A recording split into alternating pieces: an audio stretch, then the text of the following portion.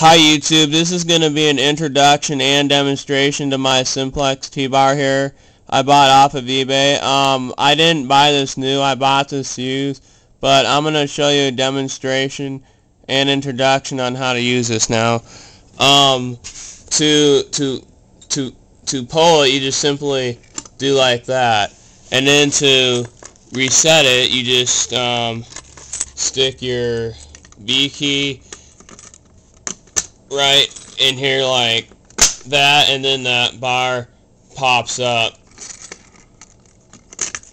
And and to do um, fire drill mode you just I can get the if I can get the key in. If you do fire drill mode you just do like that and the alarm will go off that way too.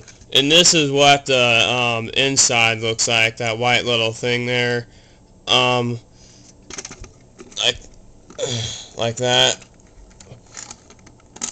And then this is what the, um, back of it looks like. Um, and also, I have a question. Do the, like, do the wires go on this part here with the numbers that say 1, 2, 3, 4?